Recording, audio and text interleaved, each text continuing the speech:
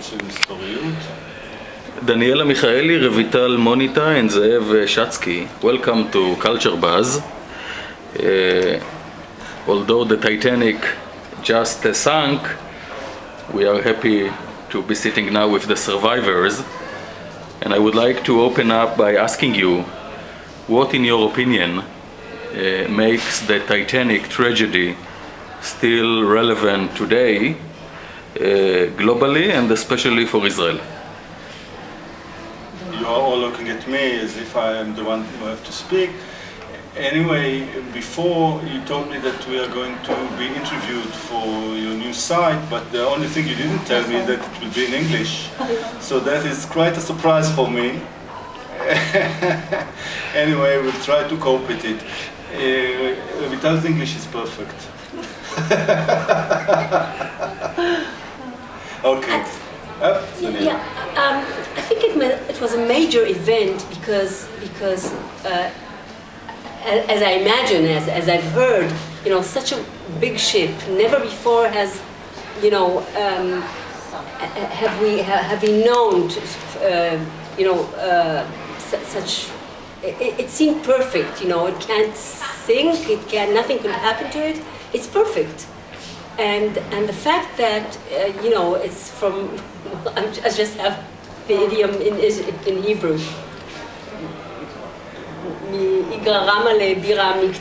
However you say, you know the, the fact that, that it just went down, and from the top of the hill to the, down the hill. Yeah, uh, uh, it, it had to to become a symbol, you know, for society, for our dreams and hope going down the drain, for, for our um, ambitions, for our vanity, for, and, um, and people keep, and we keep asking ourselves, why did it happen? Did it have to be that way? Where are we responsible? What were we blind to? And it's relevant because, because it is a vain belief. People today also believe in technology, and believe in, in, in making a lot of fortune, and the Titanic story, the Titanic fable, proves that uh, as much as you have the money and as much as you have the high technology, Titanic was the uh, front of uh, technological progress of that time. And nevertheless, uh, it goes down. I always think about the, the, um, the, the people story, the person in the story. And it's interesting that um, it has no uh, relevance to what function you're, you're, to what role you're playing.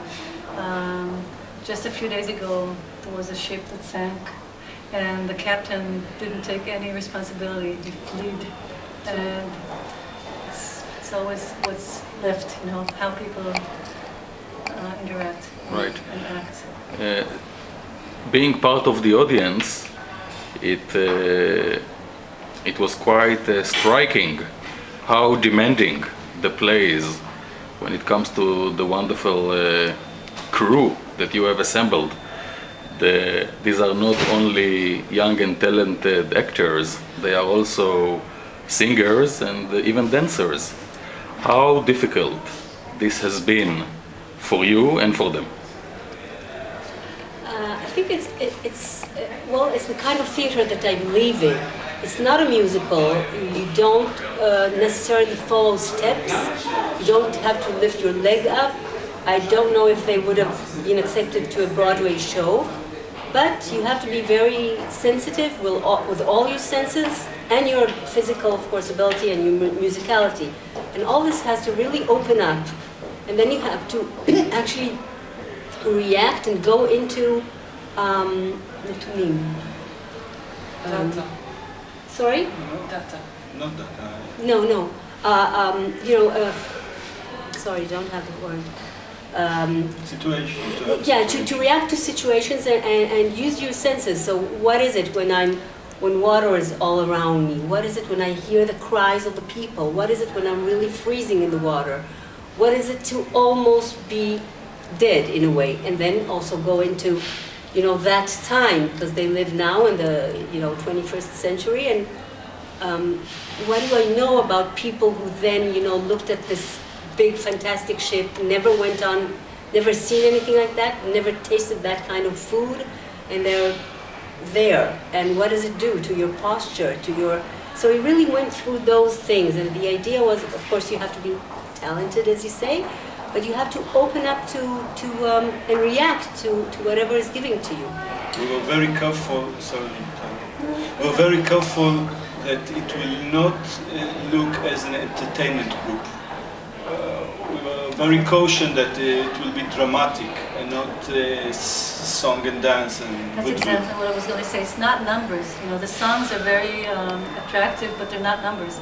Um, they, they, are they tell us a story, and um, and the actors have to be in a situation while singing something happy. They're drowning, while um, I don't know um, all the elegance. You know what's going to happen. Um, the play at the beginning, I, I think the play that we that we um, composed uh, 20 years ago had a soundtrack of 50 minutes. It started with a ragtime that doesn't show uh, in this version, and what I was trying to do is is uh, replicate the sounds from that era, but make it feel more modern, more like a commercial that we hear. That everybody tells you that everything is fine and great, but actually we know that it's but it's only. I think it was just quite like hard for the actors to grasp this, this sort of ironic, uh, you know, element that really uh, uh, they have used it a lot in the text. How is it that I, I'm, for instance, in the in the part of the of the orchestra, what is it? I'm I'm there, I'm singing, but I'm, I'm dead. Am I? But I'm dead. But I'm in the situation. So where where am I as an actor? Whom whom am I playing? What's the situation?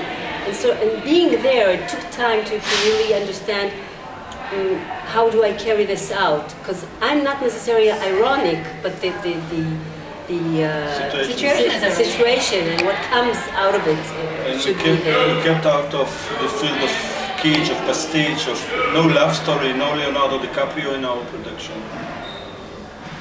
So it wasn't easy. It's easier that when you have a love story, a line of a love story or something like that, more romantic. We have a tendency sometimes to label any production. For example, this would probably be called by some fringe. Do you believe that uh, such a play uh, can make it into the mainstream Israeli theater? I must uh, tell you that there is a saying that one of my friends used to say that Israel is so small that everything is in the mainstream. There is no fringe. So the, maybe that's an answer. Maybe I should rephrase my question. Did any of the national theaters have shown interest in this uh, play? And if not, do you expect them to do so? I would definitely expect them, but I think they're very much into what they do and what they work. You know, they, they don't usually host out something independent, independent theater. Uh, well, the sad story is that I think they do other productions, and and this is more. It is fringe. You're right. It is fringe. I, I expect that maybe it it, it could appeal very much. Um, to the world around us because uh, maybe you know there are more possibilities. There is fringe and center and uh, and main sort of, and also um, I think it's it has an international appeal. Uh, unfortunately, it would take time for, for for people in Israel to know more and more about it. Maybe people who go to dance, who go to concerts would show more interest, but of course they have to know about it. So, Israeli National Theater is a Titanic by itself. Oh wow, that's uh, On this happy note, yeah, And, and I'm trying to be statement. polite. well, uh, Culture Buzz uh, does appreciate your uh, being uh, candid.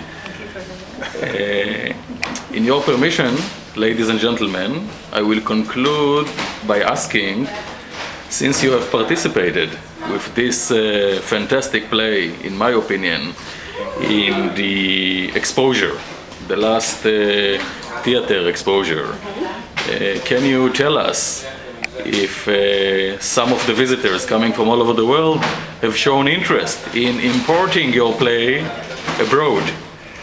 They have definitely shown interest, but unfortunately we don't have anything concrete right now yet. Uh, especially uh, from China, from Uruguay, from Greece, from Cyprus. Cyprus. Cyprus They were very clear about it, and now we expect to go on. Uh, you We know, are, we are the sure that the foreign made. ministry will help us and so we will go abroad. It's a large ensemble to export. It's, could be But tricky. no uh, cargo. So, with this optimistic note, we conclude this interview. I want to thank the three of you for uh, giving us this uh, opportunity and wish you good luck in your future endeavors. And uh, may the ship uh, sail forever. Thank you. Thank you very much.